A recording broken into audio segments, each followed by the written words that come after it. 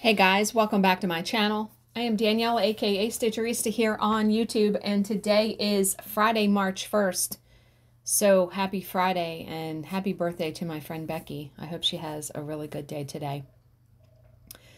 So, my work schedule, it's unpredictable every week. I mean, we may have jobs on the schedule, but things cancel, things change. So, I actually had off yesterday and I had off today. Yesterday, Bill was home doing a class for work via Zoom, so he was downstairs all day. And I just relaxed, did some reading. I did a lot of diamond painting. You will see once I, well, you can see right now. What am I saying? I finished like a whole complete row. So I am now on the next row of this diamond painting. And yes, I got a lot done. This is also going to be my update video for the week because I didn't do any stitching. I haven't really had the stitching bug and I've just given myself grace to just do what I want as far as crafts and diamond painting has been it. So yes, I did a bunch of diamond painting yesterday. I haven't really been watching. I did watch a good movie yesterday, and I say that I say I haven't been watching things, but I did. So this was a movie starring Alex Kendrick, who does Christian based movies like War Room, and they did Facing the Giants. I don't know if they did War Room. I feel like they had a part in it, but this was a movie called Overcomer such a good movie and a good message and even a song at the end I found on YouTube to put on my playlist. I almost wrote him. I went I went online to try to find information to write him. Such an amazing message. Loved that movie so much. So I watched that while I diamond painted yesterday. I haven't been watching anything really at night because what I've been doing is I've been prioritizing sleep and rest. So when Bill goes to bed, I've been going to bed because by the time I wash my face, brush my teeth, get into pajamas, do all that, it's like 8:30ish. So I've been getting into bed. Now what I've been doing is I will put on a motivational speech on YouTube and just have my phone play and the ones I've been listening to are by Eddie Pinero. And I don't know if you've ever heard of him, but he is a motivational speaker. And the two videos I've listened to this week are like three hours each. Now, one I listened to yesterday. Some of the things really hit home, and I will link the video down below. It is called Determined. And, you know, I'm always trying to be a better person. You know, I'm in like weight loss mode, trying to be healthy in that regard, but also trying to be healthy in my brain, in my ways I do things. And he said, one of the things that he said in this video yesterday that really caught my attention was you have to start showing up for yourself, right? And what he means by that is like, that's going to be different for everybody. But he was saying it like when you don't feel like doing something that you know is going to be good for you in the long run, you have to show up for yourself. So today, showing up for myself meant doing a 10 minute yoga video because I've been wanting to incorporate like yoga or stretching or something into my daily routine because I think it will be hugely beneficial to me. And trust me, the video I did, I did a 10 minute standing yoga stretch, yoga with Juliana. I was shaking on some of the poses and it was only 10 minutes. So I look forward to doing that one every day, at least until I can get through it without shaking or, you know, feeling tension. But when I do something like that, it carries over in a good way into the rest of my day. I make better food choices, different things like that. So, but yeah, showing up for yourself means for me, doing yoga. Not spending money I don't need to spend on things that I don't need to purchase. Prioritizing sleep. Being good to myself you have to show up for yourself. And that when and when it hit and I was like kind of dozing off and when he said that it woke me up because you know, all of the bad habits that I've had over these years, that's not showing up for myself. It isn't. So I encourage you to listen to his video. And also, and I'm trying to remember exactly how he said it because showing up for yourself, as far as like healthy eating for me, it means no junk. And it's not like he said if you leave the door cracked, eventually it will be kicked open. Meaning, like, let's say I said to myself, okay, I'm going to, at a birthday party, have a piece of cake and not feel guilty about it. No. Those are things where I go to a birthday party. There's no rule that says you have to have cake or eat something junky. You don't have to do it. So I know I will feel better if I don't have that cake. And do I feel deprived? No, because that's a mindset switch also. You know how much dessert I've eaten in my almost 50 years? I'm good. And there are other alternatives like an apple with peanut butter. I don't need to have cake. Don't need to have it. I also am not drinking alcohol anymore. I haven't had alcohol since the beginning of December and I don't miss it. So, and I feel like now when I'm in those positions and people are going to be like, oh, why aren't you drinking? Oh, why aren't you having a piece of cake? Because I'm showing up for myself. because for me, if I have that piece of cake, it will be breaking down that door of junk. That's how Bill and I got off track before. We went to, for me, I can pinpoint it. We went to a cookout and I had been doing really well. And I had some alcohol, which for me and for probably most people definitely will lower your inhibitions and your rational decision making, right? So I had had a couple drinks and was feeling pretty good. And then it was time to eat. And I was like, fuck it. I'm going to have a burger with a bun, which is not what I usually did. I would usually just have the burger. And it was just like a slippery slope, kicking the door down. It's, he the way he worded it really really hit home with me. So, I encourage you start showing up for yourself. And that means also not letting people walk all over you.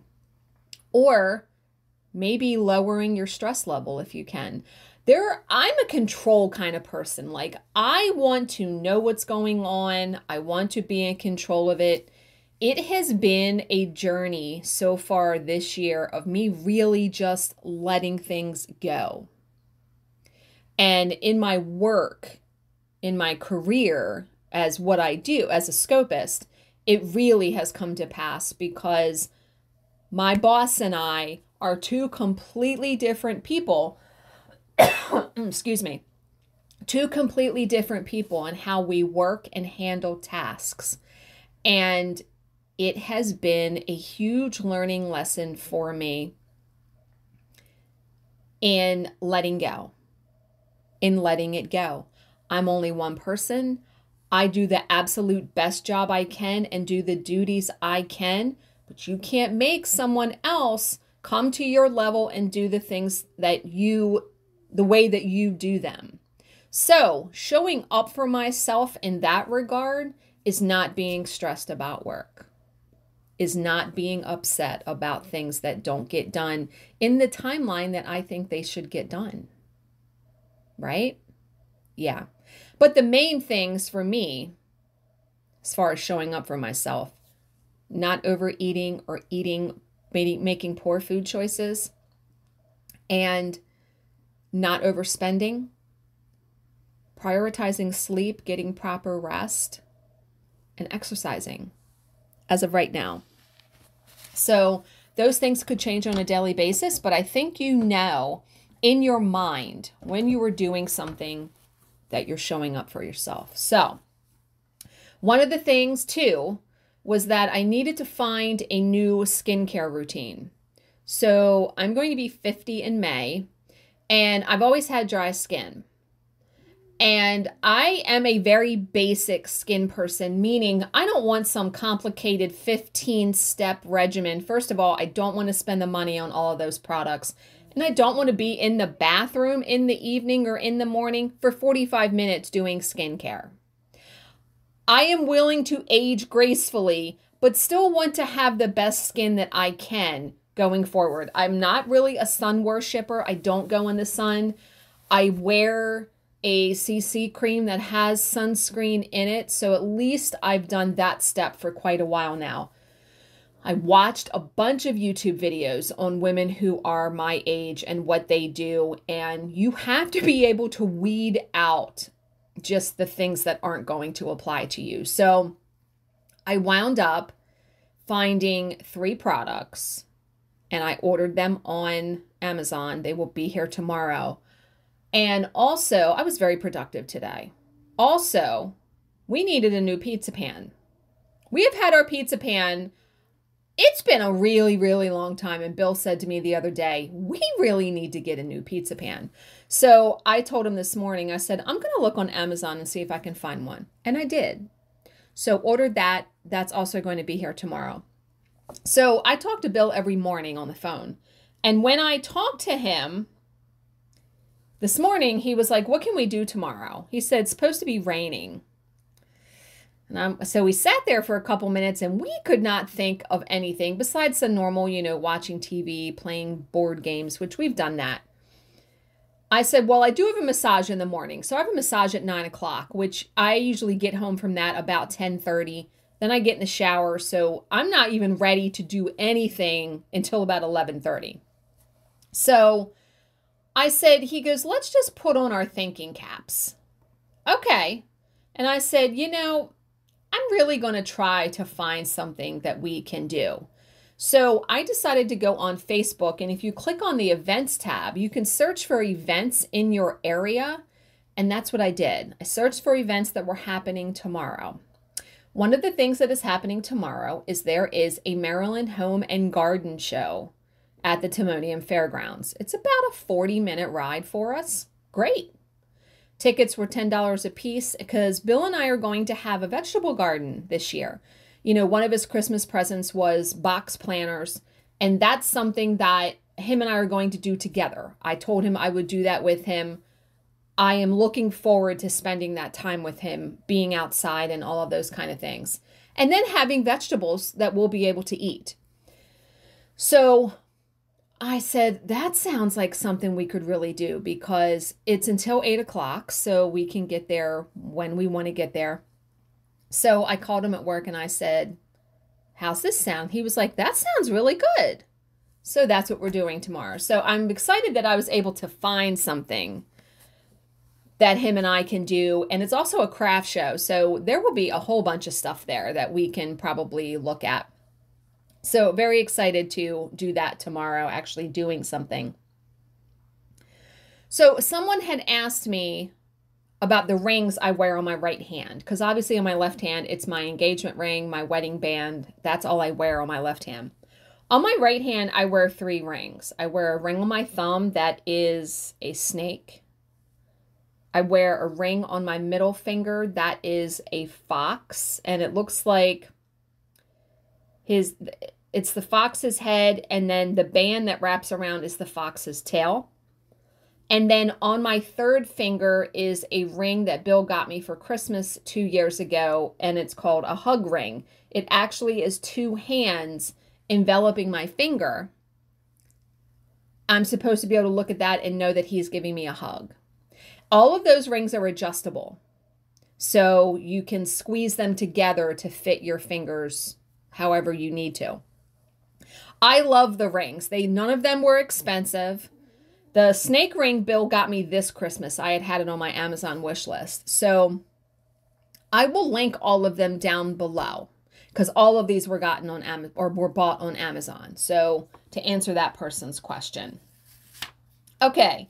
So I thought I would 15 minutes in, but I knew I had some stuff that I wanted to talk to you guys about. And I am going to go ahead and read two true crime stories right now.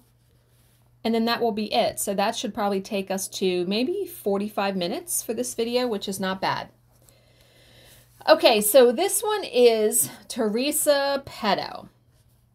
The year was 2007, and Teresa Petto was attending her high school reunion. Kill me now. We have not been to one high school reunion. Was attending her high school reunion in Kalamazoo, Michigan. The evening had been a chastening one. Chastening? chastening, chastening one for the recently divorced mother of two. All of her old school friends seemed to have moved on to better things, to careers and happy marriages. So it I think the wording there it should have been sobering because it probably really just hit home that her life hasn't turned out how she had anticipated. Teresa, meanwhile, was washed up at 35, afflicted by rheumatoid arthritis living off disability checks and child support. The disparity left her feeling depressed and decidedly inadequate. She was ready to skulk off into the night when she ran into Brent Kick. Brent had been a classmate of Teresa's back in the day. He and Teresa had been on friendly terms back then, although there was nothing more to it than that. They had certainly never dated. Now, though, he was a sight for sore eyes, handsome and athletic, looking dapper in his expensive Italian suit. He told her that he was a VP for a printing company making decent bank, living the good life, still single. That last snippet was of particular interest to Teresa. When Brent asked if she wanted to join him for a nightcap after the party, she almost tripped over her tongue saying yes. That was how it began. The pair started seeing each other, with Brent sometimes staying the night, but never giving any hint that he wanted to take their relationship further. Then in 2010, now what year was that? Okay, that was in 2000, that was three years later. Then in 2010, something happened that changed everything. Teresa was pregnant. Mm. Thereafter, she started pressuring Brent to live up to his responsibilities. Those calls became ever more strident after the birth of the couple's daughter in June of 2011. Teresa wanted them to move in together to be a family. Brent wasn't keen on the idea. He was happy to pay child support and to be involved in raising his daughter. What he didn't want was a wife and kids. This would end up becoming a major bone of contention between the pair. There were frequent fights, often getting so heated that Teresa threw Brent out, telling him never to return, but Brent always came back. He wasn't sure how he felt about Teresa anymore, but he was determined to be there for his daughter. And then on June 4th, 2015, there was a tragic turn of events. That was the day that Teresa Petto called 911 and told the dispatcher that her baby wasn't breathing and was turning blue in the face.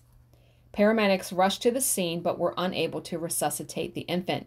She was declared dead at the scene.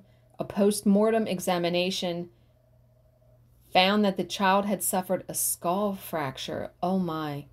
Although Teresa vehemently denied causing the injury, the baby's death was ultimately attributed to sudden infant death, death syndrome. Okay, and the only reason I normally avoid stories like this because I don't like to read about children passing away. But because that's not the focus of this story, I kind of read ahead and saw that, so that's why I still read it. In the aftermath of this tragedy, Teresa descended into a deep depression. She suffered severe mood swings, weepy one moment, manic and aggressive the next. She became increasingly dependent on Brent for emotional support. At a time when he was trying to come to terms with the death of his daughter, Teresa was clinging to him, pressuring him to make their relationship more permanent. In the end, she only succeeded in driving him away. Shortly after the death of their child, he told her that it was over. Anyone who has ever been in love has experienced the agony of a broken heart. It hurts like hell, but eventually you pick yourself up, dust yourself off, move on. Years later, you probably look back and chuckle at your foolishness. You may even realize that the breakup was the best thing that could have happened to you. But Teresa Petto was not like most people. Teresa had a vindictive streak a mile wide. To friends, she ranted and raved about the man who had abandoned her and abandoned her in the depths of her despair, who had walked away when she needed him most. Those rants would reach a crescendo when she heard that Brent was dating someone else. Oh boy. Brent's new love interest was a work colleague named Rachel Drafta. At 25, Rachel was 18 years younger than Teresa. That's not going to sit well. She was also beautiful, well educated, refined. None of this went down well with Teresa. Her rage had now shifted. No longer was it directed at Brent, it was focused entirely on his new love. She ranted constantly about the woman who had stolen her life, taken her man, who was living in her house, sleeping in her bed. This, even though she and Brent had never cohabitated. So she's living under a delusion of some sorts, also. To Teresa's friends, the solution to her problem was obvious. Brent had moved on. She needed to do the same. But Teresa wasn't backing down. If anything, she was upping her game. She began stalking her ex, driving past his house at all hours of the day and night. She started keeping a journal, obsessively tracking Brent and Rachel's movements. More worryingly, she began assembling what can only be described as an abduction kit. This included duct tape, cable ties, rubber gloves, a machete, a revolver, and lots of ammo. Slowly, over the weeks that followed, she began crafting her journal entries into a list, a to do list for a murder. Mm, okay. June 24th, 2015, marked a sad anniversary. It was four years exactly from the day that Teresa Petto's daughter died. It was also the day that Teresa had decided to put her plan into action, the plan that she believed would win back her former lover. Early that morning, Teresa got into her car and drove to the Portage, Michigan neighborhood where her nemesis, Rachel Drafta, lived with her parents. Parking her vehicle a couple of blocks away, she proceeded on foot to Rachel Street. There she waited in the shadows until Rachel emerged from her house just after 7:20. Teresa had played out this scenario many times in her head. In her imagination, the abduction went something like this. She broke cover as Rachel was walking to her car. She threatened Rachel with the gun and forced her into the vehicle. There, she gagged her with duct tape and bound her hands with cable ties. Rachel would then be driven to a remote location and killed her body hidden. Nobody would ever find her. It was, in Teresa's fevered brain, the perfect murder. Except that it didn't work out that way. Rachel was not intimidated by the gun. Rather than submit, she took out her cell phone and dialed Brent. That woman's here was all she got to say before Teresa fired, hitting her in the chest. Brent heard the shots and the shouting but couldn't make out what was happening. Neighbors, meanwhile, were dialing 911. A police cruiser was patrolling just a few blocks away and diverted to the address. The officer found Teresa Petto walking calmly down the road and arrested her. 200 yards away, Rachel Drafto was bleeding out in her driveway. Despite the swift response of paramedics, she would not make it. She died in the hospital two days later. This was probably one of the easiest murder cases that Kalamazoo County prosecutors ever had to make. Not only was Teresa Petto arrested with the murder weapon in her hand, but she was carrying a backpack that contained several rounds of 22 caliber ammunition, zip ties, rubber gloves, trash bags, and mace. There was also her journal containing her detailed point by point plan for the abduction and murder of her love rival, Rachel. That said Drafto. That wasn't her name. It was Drafta. Faced with the overwhelming evidence against her, Teresa Petto had little option but to plead guilty at her September 2016 trial. She did, however, cite mitigating circumstances, claiming that she was mentally impaired at the time of the shooting. You would have to be. To do something like that, you are not, there's no way you were in your right mind. This was ultimately rejected by the court. Petto was sentenced to life in prison. She is currently held at the Women's Huron Valley Correctional Facility in Ypsilanti. I hope I pronounced that right. She will never be released. And I don't understand how she thought that killing her was going to um, get her get the guy back, get Brent back. I don't how no. No. Okay, so our next and last story, and this video will not be 45 minutes because it's not going to take me 20 minutes to read this. This is Gun Britt Ashfield. That's an interesting name. Okay. The small town of Nowra, N O W R A, Nowra, I don't even know if I pronounced that correctly. Someone will correct me, I'm sure, down below. It is a peaceful enclave situated on Australia's east coast. Located in an area of considerable natural beauty, it is a popular weekend destination for city dwellers traveling down from Sydney to enjoy the beautiful beaches, fine restaurants, and excellent local wineries. The area is also a haven for retirees seeking to escape the hustle and bustle of city life. Brian and Gun Britt Ashfield. That is such a unique name. I've never heard something like that. They were a long way from retirement age.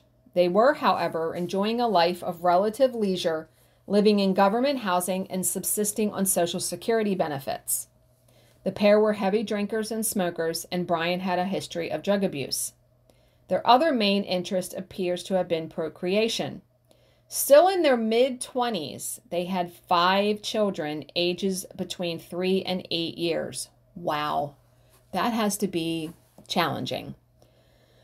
That, as you might imagine, made for a rowdy household, something that Brian took in his stride, but Gun Britt seemed to resent. She was frequently violent with her children, beating them mercilessly for the slightest infraction. No.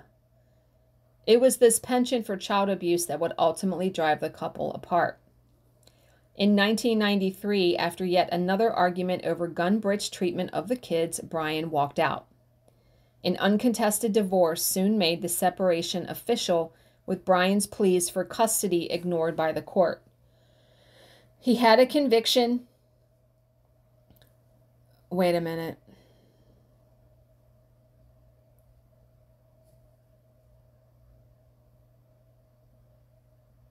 Okay, I can't read the rest of this. It's about the kids. Nope. Nope. Not reading it. We are going to, I'm going to. Okay, we're going to read this next one. I'm sorry about that. I cannot finish that one. All right, so this one is Patricia Tito. Patricia Tito was a familiar sight in the bars and juke joints of Shreveport and Bossier City, Louisiana. A somewhat jaded blonde, now pushing on into her late 30s, she still knew how to work a room, and work it she did. She had a well honed routine that usually involved zeroing in on any man who looked like he had a well stocked wallet. And how can you tell that exactly? I guess someone who's dressed nicely? I don't know. The mark would be flattered and flirted into submission and would usually end up taking Patricia home. She would then take up residence in his life cadging and cajoling as much cash as she could before moving on to the next sucker. It wasn't prostitution exactly, but it was close. The problem with Patricia's line of work was that her income was unpredictable. There were times of plenty and fallow periods during which she struggled to get by. At these times, she'd be forced to get a job, and being unqualified to do anything else, that usually meant waiting tables. This line of work was not without its benefits, though. There were plenty of male customers, and Patricia flirted shamelessly with every one of them. This typically got her a few extra bucks in tips, but every once in a while Patricia hit the jackpot. Like the day that 47 year old Chris Shufflin walked into the diner where she was working. Chris was a self made man, a shrewd dealmaker in the oil industry. He worked for himself and he was good at what he did. Patricia noticed that right away by the way he dressed and by the thickness of his money clip as he peeled off some bills to pay for his meal. Before he left, she slipped him her phone number, and later that day he called. Meeting Chris wasn't just hitting the jackpot for Patricia, it was finding the pot of gold at the end of the rainbow. Her new beau was a big hearted man, and she tapped his generosity to the hilt. Almost daily, there were requests for cash, and invariably these were met. In exchange, Chris got an experienced and adventurous lover willing to indulge his every fantasy. It was an arrangement that held for a year until disaster struck. Chris suffered a stroke. Oh, that's awful. During the first few days of Chris's hospitalization, Patricia was a constant companion at his bedside, tearfully exhorting him to fight to get better. But as Chris began to show signs of recovery, her emphasis changed. Now she was back to flirting and cajoling. She needed money to get her hair done, and there was a pair of shoes that she just had to have. Could he write her a check or maybe give her his bank card and PIN? Dude, I hope he didn't do that. It was during this time, when he needed her support more than ever, that Chris finally saw the dark soul of the woman he had fallen in love with. Even so, Chris would probably still have accommodated Patricia's constant lust for cash. The problem was that the money wells had dried up. As a one man operation, he only earned when he was out there doing his thing. Right now, he was flat on his back and unable to work. Not only that, but his hospital stay was costing him a lot of money, more than was covered by his health insurance. For the first time in the 12 months that they had been together, he told Patricia no. Her response was to storm out of the hospital, expletives in her wake, never to return. What? Recovering from a stroke is no small thing, but Chris Shufflin was as tough as they come. He was out of the hospital in record time and back to work long before doctors had recommended.